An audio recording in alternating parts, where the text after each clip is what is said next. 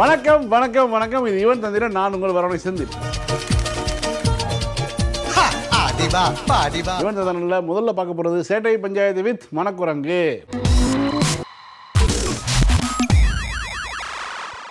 Okay குரங்கு ரெடியா? ஆ ரெடி ரெடி. போலாமா? முதல் கேள்வி. தடுப்பூசிலாம் இப்போ இல்லைன்னு சொல்லிட்டாங்களாம்மா என்னாச்சு? தடுப்பூசி இலவசம். அதாவது வந்து முதல்ல வந்து என்ன சொன்னார்னா மோடி எல்லாருக்கும் இந்தியாவில் கூடிய அனைவருக்கும் தடுப்பூசி வழங்கப்படும் அப்படின்னு சொல்லி முதல்ல வந்து மன் கி பாத்தில் அறிவிச்சார். சரி நல்ல மனுஷராக இருக்காரு பார்க்க தாடி இடி வெள்ளத்தல்லாம் வச்சு அப்படின்னு நினச்சி நம்ம முடிவு பண்ணியிருந்தோம்னா அப்புறம் வந்து பார்த்திங்கன்னா கொஞ்சம் கொஞ்சம் நாளாக நாளாக வந்து தேர்தல் வாக்குறுதி கொடுக்க ஆரம்பித்தாங்க அதாவது எப்படின்னா அவங்க உயிரை காப்பாற்றணும்னா எங்களுக்கு கட்சிக்கு ஓட்டு போட்டால் தான் உயிரை காப்பாற்ற முடியும்.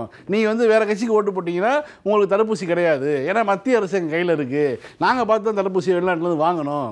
ஸோ நீங்கள் வந்து எங்களுக்கு ஓட்டு போட்டால் தான் தடுப்பூசி உங்களுக்கு போடப்படும். ஏன்னா நிர்மலா சீதாராமன் தேர்தல் வாக்குறுதியாகவே சொன்னாங்க. பீகார் தேர்தலில் தடுப்பூசி பிஜேபிக்கு நீங்கள் வாக்களித்தால் பிஜேபி கூட்டணிக்கு வாக்களித்தால் அனைவருக்கும் இலவச தடுப்பூசி போடப்படும். மக்களை காப்பாற்ற வேண்டியது ஒரு அரசினுடைய கடமை. ஆனால் அதுவே வந்து உயிரோட வைப்போமா இல்லையா? ஒரு நோய் தொற்று காலத்தில் நாங்கள் வந்து நீங்கள் உயிரோட இருக்கணும்னா எங்களுக்கு ஓட்டு போடணும்னு சொல்கிறது எவ்வளவு கேவலமான ஒரு விஷயம். அந்த கேவலத்தை பிஜேபி ஓட்டுக்காக செய்தார்கள். பீகாரில் ஜெயிச்சிட்டாங்க. பீகாரில் ஜெயிச்சதுக்கப்புறம் என்ன ஆகி போச்சுன்னா இப்போ வந்து அப்படிலாம் ஒரு விஷயமே கிடையாது. முதல்ல வந்து எல்லாத்தையும் தடுப்பூசியே போட முடியாது. அப்படின்னு சொல்லி இப்போ வந்து மத்திய அரசு சொல்கிறாங்க மத்திய அரசு வந்து எப்படி வாய் மாற்றி மாற்றி பேசுகிறாங்க பாருங்களேன். மன் கி பாத்தில் இந்தியாவில் இருக்கக்கூடிய அனைவருக்கும் கடைக்கோடி மக்களுக்கு கூட தடுப்பூசி கிடைக்கும். நான் தான் செய்ய போகிறேன் அப்படிலாம் வந்து பேசினார் மோடி. அதுக்கப்புறம் வந்து பீகார் எலெக்ஷனில் வந்து எங்களுக்கு ஓட்டு போட்டால் தான் தடுப்பூசின்னு சொல்லி அந்த மாநில மக்களை மிரட்டி ஓட்டு வாங்கினாங்க. இப்போ பார்த்தீங்கன்னா அப்படிலாம் சொல்லவே கிடையாது. முதல்ல யார் சொன்னது அதெல்லாம் அப்படிலாம் ஒரு வாய்ப்பே கிடையாது. அனைவருக்கும் தடுப்பூசி என்பது இயல் இயலாத காரியம். முதல்ல வந்து இலவசமாக தடுப்பூசியே போட முடியாது. அப்படின்னு சொல்லி இப்போ மத்திய அரசு பல்ட்டி அடிக்கிறாங்க. ஆக மொத்தத்தில் இவங்க வந்து நம்மளை காப்பாற்ற மாட்டாங்க. இந்த அரசு என்பது மிக மோசமான ஒரு அரசாக தான் இருக்குது. அப்புறம் எதுக்காக வந்து மோடி போய் அந்த பிபி கிட்லாம் போட்டு போய் மைக்ரோஸ்கோப்லாம் போய் பார்த்தாருன்னு தெரியல. தடுப்பூசியை கண்டிக்க போய் கண்டுபிடிக்கக்கூடிய அந்த சீரம் அந்த தயாரிக்க அந்த நிறுவனத்துடைய இன்ஸ்டியூட்டுக்கு போனார். போயிட்டு அகமதாபாத்தில் போய் பாட்டு வந்தார். சரி இவர் போகிற வேகத்தெல்லாம் பார்த்தா இந்தியாவுக்கு எல்லாத்துக்கும் தடுப்பூசி போட்டு நம்ம எதிர்பார்த்துட்டு இருந்தோம்னா இப்போ அவர் போயிட்டு வந்ததுக்கப்புறம் சொல்கிறாங்க யாருக்கும் தடுப்பூசி கிடையாது அப்படின்னு. அதாவது முதல் கட்டமாக இருக்கிறவங்களுக்கு மட்டும்தான் போட முடியும். அனைவருக்கும் தடுப்பூசி நாங்கள் எப்போ சொன்னோம்? அப்படின்னு சொல்லி மத்திய அரசு கேட்குது இவ்வளவு கேவலமான ஒரு மத்திய அரசை இந்திய வரலாற்றில் உலக வரலாற்றில் இப்போ தான் முதல்ல பார்க்குறோம் பொய். ஒரு கவர்மெண்ட்டே பொய் பேசுதுன்னா அங்கே எங்கே போய் முட்டிக்கிறது? நீங்கள் கலட்டி அடிக்கிறதுக்கு பதிலாக நானே எடுத்து கொடுக்குறேன்.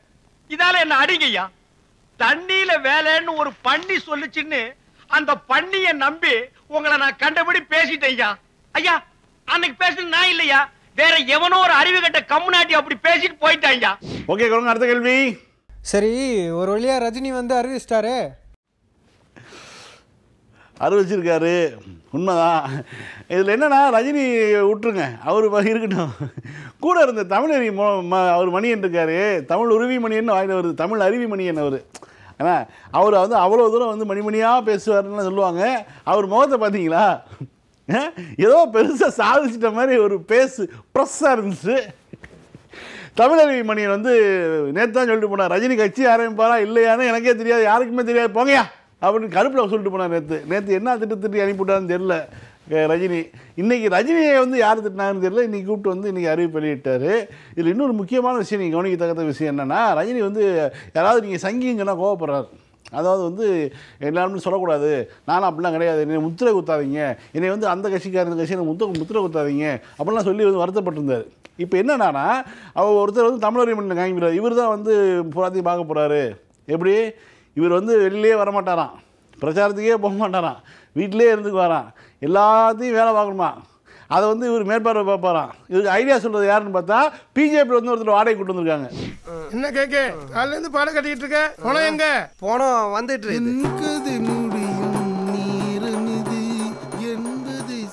என்னையா இது? சுடுகாட்டு கூப்பிட்டு வந்துட்டேன் அண்ணன் குடிச்சிட்டு உங்க பேரையே சொல்லி புலம்பிட்டு இருக்காரு வாத்தியாரே. கேக்கே நாலு நாளா கிளாஸ்க்கும் வரல.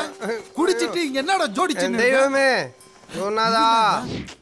அப்போ இவ்வளோ நாளாக நாற்பது வருஷமாக முப்பது வருஷமாக மன்றத்தில் இருந்தவங்கலாம் வேஸ்ட்டு பிஜேபியிலேருந்து ஒருத்தர் வந்து அவங்க பிஜேபியோடைய இன்டெலெக்சுவல் விங் செக்ரட்டரி அதாவது எப்படின்னா வந்து அறிவு இல்லாதவங்களுக்கு தான் அறிவு இருக்குது ஆள் இது வேணும். பிஜேபிக்கு வந்து இன்டெலெக்சுவல் விங்குன்னு ஒன்று ஆரம்பித்து அதனுடைய செக்ரட்டரி ஒருத்தர் இருக்கார். அதை வந்து அவர் அந்த கட்சியிலேருந்து கூப்பிட்டு கட்சியிலேருந்து கூப்பிட்டு இங்கே சேர்த்துக்கிட்டார் ரஜினி. இன்னையிலேருந்து இவர் வந்து இவர் பார்ப்பாருங்க இவர் வந்து அவர் இவர் வந்து சூத்திரத்தை சொல்லுவார் இவர் கிண்டுவார். அப்படிங்கிற மாதிரி சொல்லி அறிவிச்சிருக்காரு. இதுதான் இருக்கும் பொழுது நம்ம ரஜினி மீது பெரிய விமர்சனம் கிடையாது. அவர் அரசியலே அறிவிக்கல. இன்னமும் கூட ஒரு தேதியை தான் சொல்லியிருக்காரு. இன்னும் கூட பார்த்தீங்கன்னா டிசம்பர் முப்பத்தி ஒன்று சொல்லியிருக்காரு. அன்னைக்கு வந்து நான் அறிவிப்பு வெளியிடுறேன்னு சொல்லியிருக்காரு. ஸோ அது வரைக்கும் பொறுமை காப்போம். ஏன்னா ரஜினியை பற்றியான நம்பிக்கை முழுமையான நம்பிக்கை நமக்கு இருக்குது இருபத்தாறு வருஷம் இருபத்தேழு வருஷம் இருபத்தெட்டு வருஷமாக பார்க்காத விஷயமா. அதனால் வந்து முழுமையாக வந்து ரஜினியை நம்பலாம். டிசம்பர் முப்பத்தொன்னுக்கு அப்புறம் வந்து மற்ற விஷயங்கள் விமர்சனங்கள்லாம் வச்சுக்கலாம். அதுக்கு முன்னாடி திமுகவினுடைய கொள்கை பிறப்பு செயலாளர் திரு ஐ லியோனி திண்டுக்கல் ஐ லியோனி வந்து ரஜினி குறித்து ஒரு சின்ன விஷயம் பேசியிருப்பார். அதை மட்டும் பார்ப்போம். இது வரைக்கும் மூணு வருஷமாக கட்சி ஆரம்பிக்கிறீங்க. இது வரைக்கும் ஆரம்பிச்சிங்களா? நொந்துட்டாங்க எல்லாரும். ஒரு நாள் அம்புட்டு பேர்த்தையும் மண்டபத்தில் கூப்பிட்டு உட்கார வச்சாரு. உங்களை நான் எதுக்கு வர சொல்லியிருக்கேன்டா? நாளைக்கு வாங்க சொல்றேன். எல்லாம் நொந்துட்டாங்க. அப்புறம் இவ்வளவு பேரை எதுக்குங்க தலைவா வர சொன்னீங்க? திருப்பி வெள்ளிக்கிழமை வந்தாங்க. எல்லாத்துக்கும் வணக்கா உங்களை நான் எதுக்கு வர சொன்னேன்டா? சனிக்கிழமை சொல்றேன். நாங்கடா அக்கிரமமாக இருக்குது. சனிக்கிழமை வந்துட்டாங்க எல்லாம். இது மாதிரி இரநூறு பேர் மைக்கை வச்சுக்கிட்டா ஆ இந்தா இவ்வளோ கேமரா அவர் வாய்க்கு பக்கத்தில் வச்சிருக்கேன் கேமரா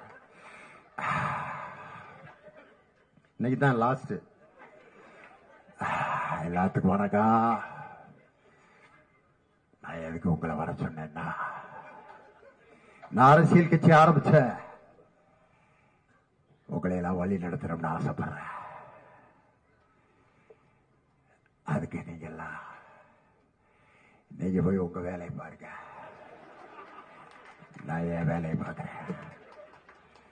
ஏன் இதுக்காயா அவ்வளோ கஷ்டப்பட்டு எங்களை வர சொன்னேன் நாங்க எங்க வேலையை தானே பிறந்ததுல இருந்து பாத்துக்கிட்டு இருந்தேன் இதை மண்டபத்தில் உட்கார வச்சு சொல்லாக்கிட்டே என்ன? நடந்தால் தான் நான் சொல்றேன். நான் மிகைப்படுத்தியெல்லாம் ஒன்றும் சொல்லலை ஐயா ஓகே குரங்க அடுத்த கேள்வி. ஆமாம் இந்த மகாராஷ்டிரா அரசு வந்து ஏதோ முக்கியமான அறிவிப்பு அறிவிச்சிருக்காங்களாமே? அந்த அறிவிப்பை திமுக தலைவரும் வரவேற்றிருக்கிறார். மிக முக்கியமான அறிவிப்பு வரவேற்க தகுந்த ஒரு அறிவிப்பு. மகாராஷ்டிரா பல்வேறு விஷயங்களை வந்து தமிழ்நாட்டில் வந்து வந்து கற்றுக்கிட்டே இருக்காங்க. தமிழ்நாட்டை பார்த்து பல்வேறு விஷயங்கள் வந்து பாடம் கற்றுக்கிட்டே இருக்காங்க. ஒரு முன்னேற வேண்டிய மாநிலம் அதாவது வந்து நம்மளை மாதிரி வந்து ஜிஎஸ்டியில் அவங்க முன்னேறிய மாநிலம் தான். தொழில்துறையில் நல்லதாக தான் இருக்கான்னு வச்சுங்களேன் ஆனால் அதை தாண்டிய விஷயங்கள்லாம் இருக்குது பார்த்தீங்களா கல்வி மற்ற விஷயங்கள்லாம் வந்து முன்னேற வேண்டிய மா மாநிலம் தான் அது. தமிழ்நாட்டை பார்த்து கண்டிப்பாக அவங்க கற்றுக்கணும் ஏன்னா நம்ம வந்து ஸ்டாப் ஹிந்தி இம்போசிஷன் அப்படிங்கிற வார்த்தையை வந்து எழுபது ஆண்டுகளுக்கு முன்பாகவே நம்ம பேச ஆரம்பிச்சிட்டோம். இப்போ தான் வந்து மும்பையை சேர்ந்தவர்கள் ஹிந்தி ஆதிக்கம் ஒழிக அப்படிங்கிற வார்த்தையை முன்னெடுத்திருக்காங்க. எங்கே பார்த்தாலும் ஹிந்தியாக இருக்குது. ஹிந்தியை உள்ளே விட்டனால வந்து நம்மளுடைய கலாச்சாரம் பண்பாடு எல்லாத்தையும் போயிடுச்சு நம்மளுடைய அரசியல் தலைமையை கூட வந்து பார்த்தீங்கன்னா இப்போ ஒரு ம இந்தியாவை சேர்ந்த ஒரு கட்சி அது இந்தியாவில் கூடிய மத்தியில் இருக்கக்கூடிய ஒரு கட்சி வந்து மரா மகாராஷ்டிராவில் வந்து ஒரு பெரிய ஆதிக்கம் செலுத்துது அதுக்கான காரணம் என்னென்னா நம்ம ஹிந்தியை உள்ளே அனுமதிச்சது தான் அப்படிங்கிற ஒரு புரிதலுக்கு இப்போ வந்திருக்காங்க. இந்த புரிதல் வந்து திராவிட இயக்கம் தமிழ்நாட்டில் முதல்ல இருந்தனால தான் நீங்கள் வந்து பார்த்தீங்கன்னா நம்ம வந்து அந்த இப்போ ஆயிரத்தி எட்நூற்றி எழுபதுகளிலே வந்து பெரியாருக்கு முன்பாகவே வந்து இப்போ திராவிடம் அப்படிங்கிற ஒரு ஒரு பத்திரிகை வந்துருச்சு. பெரியாருக்கு பெரியாருக்கு பிறகு வந்து பல்வேறு சிந்தனை மாற்றங்கள் வருது. அதற்கு பிறகு நீதி கட்சி வருது. எல்லா வகையிலையும் பார்த்தீங்கன்னா நாம் தமிழை வந்து உயர்த்தி பிடிக்கிறோம். வடமொழியை எதிர்த்து நிற்கிறோம் ஏன்னா வடமொழி என்பது ஒரு ஆதிக்கத்துக்கான ஒரு விஷயமா இருக்குது. வடமொழி முழுக்க முழுக்க வந்து தமிழை தின்று செறித்து தமிழ் வரலாற்றை தின்று செறிப்பதே அவங்க வேலையாக இருக்குது அதனால தான் நம்ம வந்து தெளிவாக இருக்கோம். நம்ம எந்த சூழலிலும் இந்திய அனுமதிப்பில்லை. நமக்கு வந்து இன்னொரு ஒரு பிற நாடுகளோடையோ பிற மாநிலங்களோடையோ ஒரு தொடர்பு மொழி வேணும்னா நாங்கள் ஆங்கிலத்தை யூஸ் பண்ணிக்கிறோம். ஏன்னா ஆங்கில கலத்து தான் க- தமிழும் ஆங்கிலமும் கலந்துச்சுன்னா ரொம்ப சுலபமாக பிரிச்சிடலாம். நீங்கள் வடமொழி என்பது நீங்கள் வந்து அதை வந்து வெளியிலே பிரிக்க முடியாத அளவுக்கு வந்து புனையிறது. அதை தாண்டி ஒரு விஷயம் என்னென்னா வடமொழி உள்ளே வந்துருச்சுன்னா அதுக்கடுத்து அவங்க சமஸ்கிருதத்தை கொண்டு வருவாங்க. எப்படி ஹிந்தியை கொண்டு வந்துடுவாங்களோ ஹிந்தியை வச்சு அதுக்கப்புறம் சமஸ்கிருதத்தை கொண்டு வருவாங்க. இதுதான் அவங்களுடைய நோக்கம். இதெல்லாம் விட்டு அவங்க வந்து நீங்கள் வந்து பாதிப்படைஞ்சு எழுபது ஆண்டுகளாமல் இப்போ வந்து அறிவு வருது. பெங்களூரில் வந்து மெட்ரோவில் ஒட்டாதீங்களா ஹிந்தியில் வந்து எந்த சொல்லும் இருக்கக்கூடாதுன்னு சொல்லி போராடுறாங்க. டிக்கெட் எடுக்கிற ஹிந்தியில் கொடுக்குறீங்க. மெட்ரோ ஓடுறது பெங்களூருக்குள்ளே. நீங்கள் வந்து பெங்களூரில் வந்து பேசக்கூடிய மொழி கன்னட மொழி. எங்களுடைய தாய்மொழி கன்னடத்தில் வந்து நீங்கள் டிக்கெட் கொடுக்காம எதற்குடா ஹிந்தியில் கொடுக்குறீங்கன்னு சொல்லி ரெண்டாயிரத்தி இருபதில் கேள்வி கேட்குறாங்க நம்ம இப்போ நமக்கு எப்போ கேள்வி கேட்டோம்? ஆயிரத்தி தொள்ளாயிரத்தி முப்பத்தி எட்டுலேயே கேட்டாச்சு. ஆயிரத்தி தொள்ளாயிரத்தி அறுபத்தஞ்சில் மிகப்பெரிய ஒரு போராட்டத்தை முன்னெடுத்தாச்சு. இந்த விஷயத்தை வந்து இந்த அறிவு எப்போ வந்திருக்குன்னா இப்போ தான் வந்திருக்குது. ஸ்டாப் இந்தி இம்போசிஷனுங்கிற வார்த்தை வந்து ட்விட்டரில் வந்து ட்ரெண்ட் ஆகுதுன்னா முதல்ல தமிழ்நாட்டில் மட்டும் ட்ரெண்ட் ஆகும். நம்ம மட்டும் தான் இந்தி எதிர்த்துட்டு இருந்தோம். ஒரு அஞ்சு வருஷத்துக்கு முன்னாடி ஏழு வருஷத்துக்கு முன்னாடி பத்து வருஷத்துக்கு முன்னாடி. ஆனால் இன்றைக்கி பார்த்தோம்னா அந்த ஜாலஜிக்கல் மேப்பில் பார்க்கணும்னு வச்சுங்களேன் பஞ்சாபில் இருக்கிறான் மகாராஷ்டிராவில் எதுக்குறான்? பெங்களூரில் எதுக்குறான்? மேற்கு வங்காளத்தில் எதுக்குறான்? எல்லா மாநிலங்களிலும் எதுக்குறாங்க? அந்த அறிவின் அடிப்படையில் இப்போ வந்து இன்னொரு விஷயம் சமூக நீதி சமூக நீதி சாதி ஒழிப்பு இது போன்ற விஷயங்கள் தமிழ்நாட்டில் வந்து கற்றுக்கிட்டு இருக்காங்க. கலைஞர் வந்து என்றைக்கோ ஆர்டர் போட்டார். ஆயிரத்தி தொள்ளாயிரத்தி எழுபதுலேயே ஆர்டர் போட்டார். தெருப்பெயரில் சாதி பேர் இருக்கக்கூடாதுன்னு சொல்லி. இன்றைக்கி ஒரு சின்ன உதாரணம் சொல்கிறேனே நேற்று வந்து நம்மளுடைய தமிழ்நாட்டை சேர்ந்த சேலம் நடராஜன் வந்து ஒரு விக்கெட் எடுத்திருக்காரு. முதல் முறையாக ஒரு த ஒரு பார்ப்பன இல்லாதவர் போய் விளாண்டுருக்காரு ஒட்டுமொத்த தமிழ்நாடே கொண்டாடுது நடராஜனை. தங்கள் வீட்டு பிள்ளை மாதிரி கொண்டாடுது. பிஜேபிக்காரங்க மட்டும் பார்த்தீங்கன்னா அவங்க வீட்டில் வந்து பாரத மாதா படம் இருக்குது ஐ அப்படிங்கிறாங்க அவங்களுக்கு பாருங்க குசியை. என்ன? இந்த மாதிரி வந்து நடராஜனை கொண்டாடிட்டு இருக்கும்போது அந்த பெயர் பட்டியல் இருக்குது பார்த்தீங்களா இந்திய விளையாட்டு வீரர்கள் பட்டியல் இருக்கும்போது எல்லாருடைய பேருக்கு பின்னாடியும் சாதி இருக்குது. நடராஜன் பேருக்கு பின்னாடி மட்டும் சாதி கிடையாது. ஏன்னா அவன் தமிழ் பிள்ளை. எல்லா வீட்டுடைய பிள்ளை அப்படிங்கிறனால தான் இன்னாருங்கிற அந்த குறிப்பிட்ட பேரே இல்லை. பும்ராவாக இருக்கட்டும் யார் சர்மா சாஸ்திரி எல்லா பேரும் இருக்குது. நடராஜனுடைய பேருக்கு பின்னாடி மட்டும் சாதி கிடையாது. ஏன்னா தமிழ்நாட்டிலேருந்து வந்திருக்காங்கிறத தனித்துவமாக தெரிகிறார் நடராஜன். அது ஒரு நட்சத்திரம் சொல்லுவாங்க இல்லையா? கீழ்வானில் வந்து விடிய காலில் ஒரு ஒரு வெள்ளி முளைக்கும்னு சொல்லுவாங்க இல்லையா? அந்த வெள்ளி போன்று நடராஜன் தனியாக தெரிகிறார். இதுதான் காரணம் என்னென்னா தமிழ்நாடு. இது வந்து எழுபதுலேயே கம கலைஞர் வந்து கொண்டுட்டாரு அதாவது தெருக்கு பேர்களில் வந்து சாதி இருக்கக்கூடாது. ஒரு ஏரியா பேரா ஒரு ஒரு ஒரு ஒரு ஒரு காலனியாக எதுவாக இருந்தாலும் சரி பின்னாடி சாதி பேர் இருக்கக்கூடாது. அது எல்லாத்துக்கும் பொதுவாக வைங்க. அப்படின்னு சொல்லும் பொழுது அது ஒரு அற்புதமான விஷயமா இருந்துச்சு. அதை வந்து இன்னைக்கு முன்னெடுக்குது மகாராஷ்டிர அரசு. மராட்டி அரசு குடியிருப்புகளில் உள்ள உள்ளக்கூடிய ஜாதி பெயர்களை அப்புறப்படுத்துவோம். இன்னும் சொல்ல போனால் இன்னும் சொல்ல போனால் ஜோதிராவ் புலே அம்பேத்கர் இப்படி போன்ற மிகப்பெரிய தலைவர்களை கொடுத்த மாநிலம் அது. அங்கேயே வந்து இப்போ தான் அந்த முடிவுக்கு வராங்க. ஆனாலும் இந்த முடிவை வந்து வரவேற்கணும் அப்படின்னு சொல்லிட்டு திமுக தலைவர் வரவேற்றிருக்காரு. ரொம்ப முக்கியமான ஒரு செய்தி அது. ஏன்னு கேட்டிங்கன்னா பெயர்களை அப்புறப்படுத்தும் பொழுது குறிப்பிட்ட ஒரு சாதி பேரை அப்புறப்படுத்தும் போது உண்மையாலுமே வந்து குழந்தைகள் மத்தியில் பதியாதது. அது நல்ல ஒரு விஷயம். அந்த விஷயத்தை முன்னெடுத்த மராட்டிய அரசுக்கு பாராட்டுகள் ஓகே குரங்க அடுத்த கேள்வி. ஆமாம் இந்த விவசாயிகள் பிரச்சனைகளுக்காக திமுக போராட்டம் அறிவிச்சிருக்காங்களாமே? ஐந்தாம் தேதி வரக்கூடிய டிசம்பர் ஐந்தாம் தேதி திமுகவினுடைய போராட்டம். விவசாயிகளுக்காக ஆதரவு தெரிவித்து நாடு முழுவதும் விவசாயிகள் போராட்டம் வந்து கொழுந்து விட்டு எரிய ஆரம்பிச்சிருச்சு. எப்படி வந்து இவங்க வந்து டெல்லியில் மட்டும் போராட்டம் கிடையாது. இப்போ வந்து தமிழ்நாட்டிலையும் நம்ம சில நாட்களுக்கு முன்னாடி பேசணும் என்ன பண்ணுறாரு ஐயா கண்ணு ஐயா கண்ணும் போராட்டத்தில் வந்திருக்காரு. த அது போன்ற பல்வேறு இயக்கங்கள் பல்வேறு விவசாய தொழிலாளர் முன்னணியிலேருந்து பல்வேறு விவசாய அமைப்புகள் போராட்டத்தில் இறங்கி வந்து நாடு முழுக்க போராட்டம் நடத்திட்டு இருக்காங்க. சிபிஎம்மில் இருக்கக்கூடிய விவசாய அமைப்பாக இருக்கட்டும் சிபிஐயாக இருக்கட்டும் விடுதலை சிறுத்தைகளாக இருக்கட்டும் காங்கிரஸ் இருக்கக்கூடிய விவசாய அமைப்புகளாக இருக்கட்டும் எல்லா எல்லா விவசாய அமைப்புகளும் போராட்டத்தில் இறங்கிருச்சு. கட்சி சாராத விவசாய தொ- தொழிலாளர் அமைப்புகள் விவசாய அமைப்புகள் எல்லா பேரும் போராட்டத்தில் இறங்கிட்டாங்க. இந்த நேரத்தில் திமுக தன்னுடைய மிகப்பெரிய ஒரு அறிவிப்பு வெளியிட்டிருக்காங்க. விவசாயிகளுக்கு ஆதரவாக தங்களுடைய போராட்டத்தை முன்னெடுக்க போகலாம்னு சொல்லி இந்த அறிவிப்பு. ரொம்ப முக்கியமாக வரவேற்கிறது ஒரு ஒரு அறிவிப்புன்னு வச்சுக்கோங்க ஏன்னா விவசாயிகள் ரொம்ப வந்து அவங்களுடைய கோரிக்கைகள் மிக ரொம்ப சாதாரணமான கோரிக்கை தான். என்னென்னா ஏற்கனவே இருக்கிற விஷயத்தை மாற்றாதீங்க அவ்வளோதான் நீங்கள் வந்து இலவச மின்சாரத்தை ரத்து ரத்து பண்ண போகிறீங்க மின்சார திருத்த சட்டம் ரெண்டாயிரத்தி இருபதில் வந்து இதன் அடிப்படையில் வந்து நீங்கள் வந்து மின்சாரத்தை வந்து ரத்து பண்ண போகிறீங்க அதான் உங்களுடைய பிளான் உங்களுடைய நோக்கம் வந்து எதற்காக இலவச மின்சாரம் கொடுக்கணும் அப்படிங்கிறத உங்களுடைய நோக்கம். அதை வந்து விவசாயிகள் கடுமையாக எதிர்க்கிறார்கள். உண்மையாலுமே நீங்கள் வந்து விவசாய மின்சாரத்தில் கை வைக்கிறதுங்கிறது அதான். அது கேலண்டரில் மத்திய அரசு கை வைக்குது. அதை எதுக்கு அது வந்து இப்போ நிச்சயமாக பஞ்சாப் விவசாயிகள் ஏற்றுக்க மாட்டாங்க மட்டும் கிடையாது. தமிழ்நாடு விவசாயிகளும் ஏற்றுக்க மாட்டாங்க. கண்டிப்பாக மிகப்பெரிய ஒரு சிக்கலை வந்து மத்திய அரசும் சரி அதற்கு ஆதரவாக இருக்கக்கூடிய அதிமுக அரசும் எதிர்கொள்ள போகுது. அதே மாதிரி தான் பார்த்தீங்கன்னா வந்து இந்த விவசாயத்து விளைபொருட்கள் சட்டத்தில் வந்து பல்வேறு மாற்றங்களை கொண்டு வராங்க. விலை உத்தரவாதத்தை வந்து எடுத்து தூக்கிடுறாங்க. இதெல்லாம் வந்து விவசாயிகள் ஏற்றுக்காம இப்போ தங்களுடைய கோரிக்கைகள் நிறைவேறும் வரை டெல்லியை விட்டு வெளியேற மாட்டோம்னு சொல்லி ஒன்றரை கோடி பேர் வந்து போய் நிற்கிறாங்க இன்றைக்கி இப்போ பார்த்தீங்கன்னா பேச்சுவார்த்தைக்கு அழைச்சிருக்காங்க. பேச்சுவார்த்தைக்கு அழைச்சா விவசாயிகளுடைய எந்த கோரிக்கையும் நாங்கள் ஏற்றுக்க முடியாதுன்னு சொல்லியிருக்காங்க இதுக்கு பேர் எதுக்கு பேச்சுவார்த்தை? எதுக்காக அழைக்கிறாங்கன்னு தெரியல. இப்ப பேச்சுவார்த்தைக்கு விவசாய சங்கத்தினுடைய பிரதிநிதிகள்லாம் அழைச்சிட்டு பேச்சுவார்த்தைக்கு அழைச்சி உட்கார வச்சா இவர் வைக்கக்கூடிய கோரிக்கை ரொம்ப சுலபமான கோரிக்கை தான். இதை வந்து ஏற்றுக்க முடியாது அப்படின்னா ஒரு எதோச்சதிகார அரசு மாதிரி உங்களுடைய போக்கு தெரியுது. ஏன்னா வந்து ஒரு பேச்சுவார்த்தை என்றால் அவர்கள் ஒரு கோரிக்கை வைக்கிறாங்கன்னா நீங்கள் அந்த கோரிக்கையை இறங்கி வரணும் அல்லது உங்க கோரிக்கையை நிறைவேற்ற முடியாத காரணம் சொல்லணும். நீங்கள் வந்து சட்டமாக்கிட்டீங்க அப்படிங்கிற ஒரு விஷயத்துக்காகவே பேச்சுவார்த்தை மேஜர் வந்து நீங்கள் வந்து கலந்துக்க முடியாது அல்லது உங்களுடைய கோரிக்கையை நிராகரிக்கணும்னு சொல்கிறது மிக மோசமான ஒரு விஷயம்.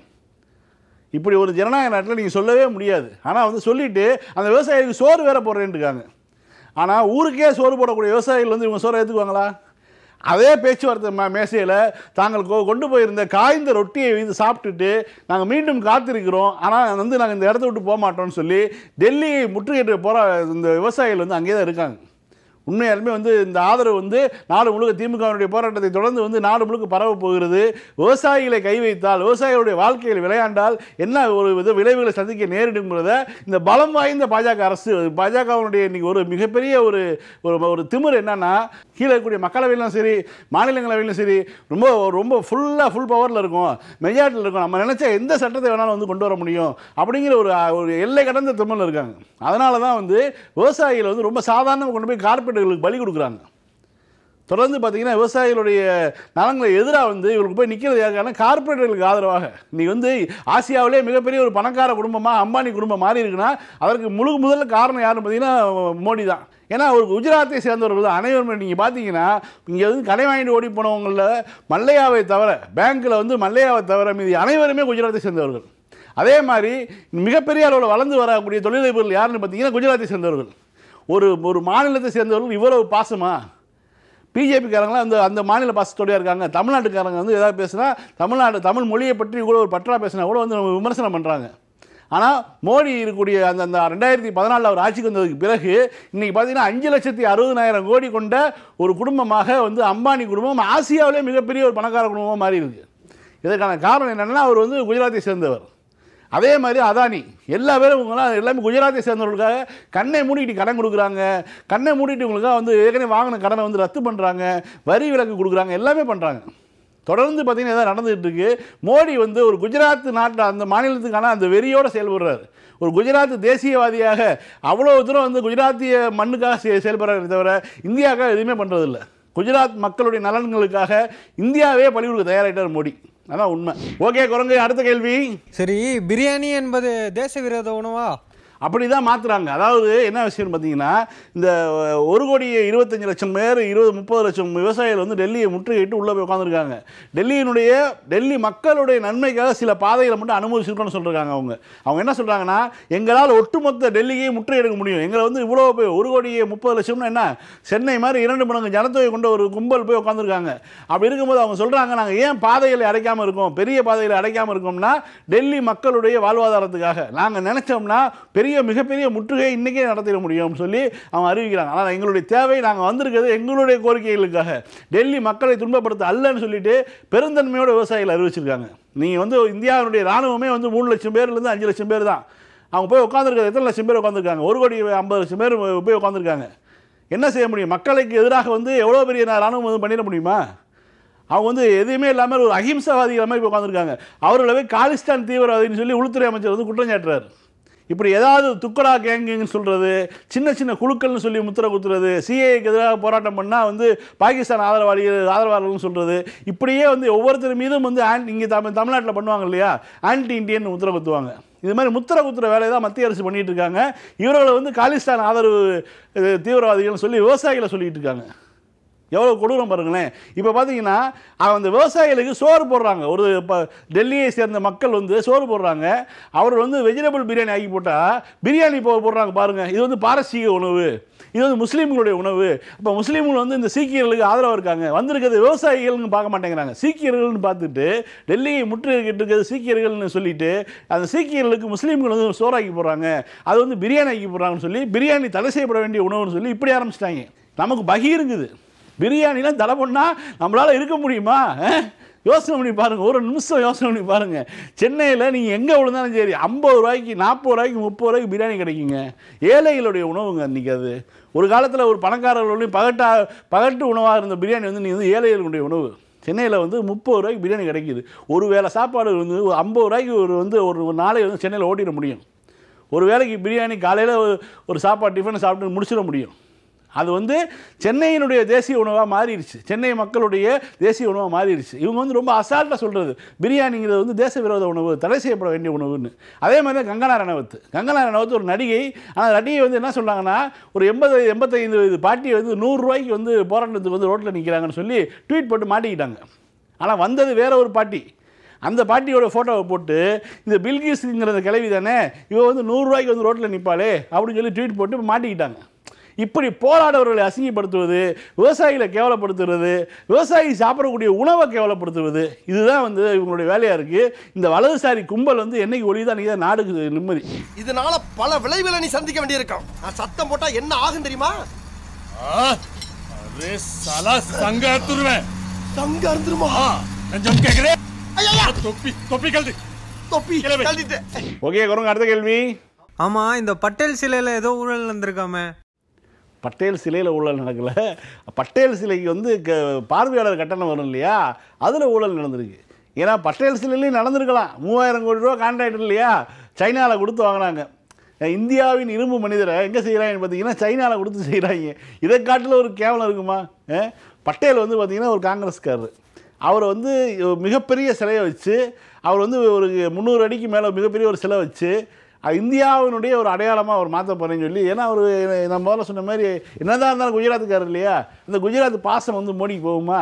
உடனே வந்து செய்கிறேன்னு சொல்லி செய்கிறாங்க பட்டேல் வந்து எதுக்காக சொல்லுவாங்கன்னா இந்தியாங்கிற ஒரு நாட்டை வந்து உருவமைக்கிறார். இங்கே வெள்ளக்காரன் விட்டுட்டு போகும்பொழுது இந்தியா வந்து இன்னும் சில உள்ள உள்ள ஒரு ஹைதராபாத் நிஜாமாக இருக்கட்டும் பல்வேறு உள்ளுக்குள்ளேயே பல்வேறு சின்ன சின்ன நாடுகள் வந்து ஒத்து வராமல் இருக்காங்க. அவர்களை எல்லாமே வந்து வந்து ஒரு வழிக்கு மிரட்டி கொண்டு வந்தவர் வந்து இரும்பு மனிதர்கள் சொல்கிறதுக்கான காரணம் தான் ஒரே இரவில் வந்து அரு ஆற்காடை வந்து கொண்டு வராரு. ஒரே இரவில் வந்து ஹைதராபாத்தை கொண்டு வராரு. ஒரே இரவில் வந்து பிஜப்பூர் சுல்தானை வந்து மிரட்டுறாரு. ஒரே இரவில் வந்து பல்வேறு விஷயங்களை பண்ணுறாரு இதெல்லாம் வந்து அவர் வந்து இந்தியாவின் இரும்பு மனிதர் அப்படின்லாம் சொல்லுவாங்க. இந்தியாங்கிற ஒரு நாட்டை வந்து உருவாக்குனவர் அவர். அதாவது அந்த ஸ்கெட்ச் இப்போ இன்றைக்கி போடுற பார்த்தீங்கன்னா ஸ்கெட்ச் அதுக்கான காரணம் அவர் தான் ஸோ அப்போ வந்து பட்டேல் வந்து குஜராத்துக்கார் வேறு. ஸோ நம்ம வந்து நான் வந்து ஜெயிச்சு வந்தோடனே நான் சிலை வைக்கிறேன்னு சொல்லி வச்சுட்டார். அதெல்லாம் ஓகே தான். ஆனால் அந்த சிலை வந்து மேக் இன் இந்தியா திட்டம். மேக் இன் இந்தியா திட்டம் ஒன்று அறிவித்து இந்தியாவிலே எல்லாம் செய்ய போகிறோம்னு சொல்லி அறிவிச்சாங்க. ஆனால் இந்த சிலையை வந்து எங்கே செஞ்சாங்கன்னா சைனாவில் செய்கிறாங்க சீனாலேருந்து இறக்குமதி செய்யப்பட்டது சில ஒரு இந்தியாவினுடைய சிற்பியாக பார்க்கப்படக்கூடிய பட்டேலை சீனாலேருந்து மூவாயிரம் கோடி ரூபாய்க்கு வந்து சிலை செஞ்சு வாங்குறாங்க. சைனாக்காரன் எதில் சிரிச்சிருப்பான்? ஓகே செஞ்சு கொண்டு வந்து கொடுத்துட்டான்னு வச்சுக்கங்களேன். செஞ்சு வச்சா அப்புறம் தண்ணி ஒழுகுதுன்னாங்க. ஏற்கனவே சைனா பீஸை நம்பாதீங்கிறான்னா அவ்வளோ பெரிய சிலையில் உள்ளே போய் வேடிக்கை பார்க்கணும் பூரா தண்ணி ஒழுகுது மழை பெஞ்சு. அந்த சம்பவம் வேறு நடந்துகிட்டு இருந்துச்சு. இப்போ என்ன ஆகி போச்சுன்னா கடந்த வருஷம் பூரா வந்து டிக்கெட் போட்டு தெரியுமா? உள்ளே வந்து பார்க்குறதுக்கு. அதாவது அது வந்து ஒரு சுற்றுலா மையமாக மாற்றி அங்கேருந்து வந்து உள்ளேருந்து லிஃப்ட்டில் ஏறி மேலே இருந்து பார்க்கலாம். குஜராத்தே தெரியும் அப்படின்னு சொல்லி கூட்டிகிட்டு போய் எல்லாம் வந்து டிக்கெட் போட்டாங்க. அந்த டிக்கெட் போட்ட காசு மார்ச் மாதம் வரைக்கும் வந்து இந்த ரெண்டாயிரத்தி இருபது மார்ச் வரைக்கும் வந்து செலுத்த வேணும்னா இல்லையா? அதை ஆட்டையை போட்டாங்க. அஞ்சு கோடி இருபத்தி நாலு லட்ச ரூபா. பேங்க்கில் செலுத்தலை அப்படின்னு இப்போ ஒரு பஞ்சாயத்து. மோடியினுடைய நிறுவனம் குஜராத்தை பாருங்கள் குஜராத் மாடல் குஜராத் மாடல்னா குஜராத் மாடல் இதுதான். இப்படி தான் இருக்குது குஜராத் மாடல் இப்போ நடந்து போச்சா இப்போ என்ன ஆகி போச்சுன்னா இந்த விஷயம் வெளியில் வரவும் அந்த எந்த பேங்க்கில் செலுத்த வேண்டுமோ அந்த பேங்க்கே வந்து திரும்ப கொடுத்துருச்சான் அப்போ வந்து என்னடா பேங்குக்காரனே ஆட்டைய போகிறானா அப்படிங்கிற மாதிரி டவுட்டாக இருக்குது. ஆனால் குஜராத் மாடல் இதுதான். பிஜேபி ஆட்சி நடத்தக்கூடிய குஜராத் மாடல் பட்டேலை வச்சு கூட வந்து இப்படி தான் ஆட்டைய போடுறாங்க. அத செலவு பண்ணிட்டேன். ஏட்டையா பிச்சைக்காரகிட்டேயுமா திருப்பி கொடுத்துருங்க. இருந்தா தரமாட்டானயா உண்மையிலே செலவு பண்ணிட்டயா தூண்டி விடாத. சரிடா உங்க அம்மா அப்பா எல்லாம் இப்ப எங்க இருக்காங்க? அவங்க எப்படி பண்ண உனக்கு என்னையா? மரியாதை என்கிட்ட புரியல? காசு கொடுத்துறியா ஏண்டா செலவு பண்ணீங்கன்னு திரும்ப திரும்ப கட்டுக்கிட்டு இருக்கிற ஒரு அதிகாரி கூட பார்க்காம. பேச்சு முடிச்சு பெக்கர். ஓகே மீண்டும் நாளை இரவு ஒன்பது மணிக்கு உங்களை சந்திக்கிற விடைபெறுவது நான் உங்கள் வரவணை செந்தில். இது இவன் தந்திரன். ஆடுறார் ஒத்திக்கோ ஒத்திக்கோ. தென்னாட்டு வெங்கதாம் ஒத்துக்கோ ஒத்துக்கோ. அண்ணாத்த ஆடுறார். ஒத்திக்கோ ஒத்திக்கோ. தென்னாட்டு வெங்கதாம் ஒத்துக்கோ ஒத்துக்கோ. காட்டோரம் மேயும் குறும்பாடு. அத போட்டாதான் நமக்கு சாப்பாடு. ஆனா காட்டோரம் மேயும் குறும்பாடு. அத போட்டாதான் நமக்கு சாப்பாடு. ஒய் சிறுமா சிறுமே சிறுமா சிறுமே அண்ணாத்த ஆடுறார். ஒத்திக்கோ ஒத்திக்கோ.